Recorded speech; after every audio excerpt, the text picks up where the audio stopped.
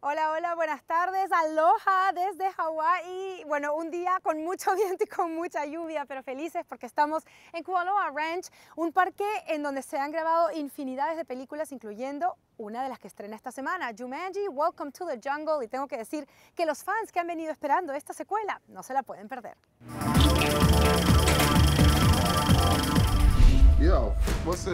Cuatro compañeros de escuela descubren un videojuego de los 90 del que nunca han oído hablar, Jumanji, y se sienten inmediatamente atraídos por la ambientación selvática del juego para luego verse devorados por este y transformados en los avatares que han elegido. Una cosa es grabar en Hawái y otra cosa es vacacionar. Grabar es mucho más difícil. ¿Quién era el favorito de los mosquitos? ¿De nosotros? Sí. Yo. The mosquitoes love my blood. And I had to put on a lot of poison. You didn't even use any, did you? I don't not on the skin. You never no. use it. Never use it. Ay, ay, The mosquitoes can't with the rock. No pueden, no pueden. ay, no puedo. They uh, bite him and die. Ah, Próximo Jumanji en el Amazonas, en Perú. I would love that. Con anacondas, pirañas. Yes, bring it Muy on. peligroso. But he would not.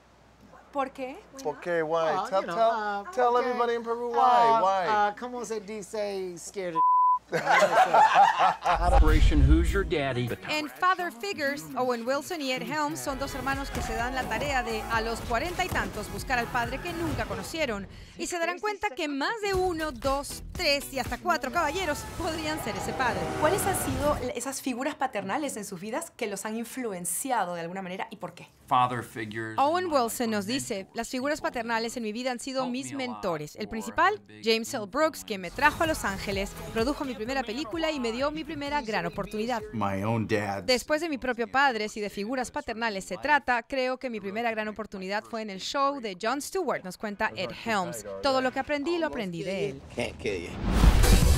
Y atención que Downsizing bien podría ir por el Oscar el próximo año, sobre todo si se trata de Hong Chao, la revelación de esta cinta que ya está nominada como mejor actriz de reparto para el Golden Globe. ¿Estás lista? Porque yo sé que a ti te van a nominar como mejor actriz de reparto. Yo soy lista.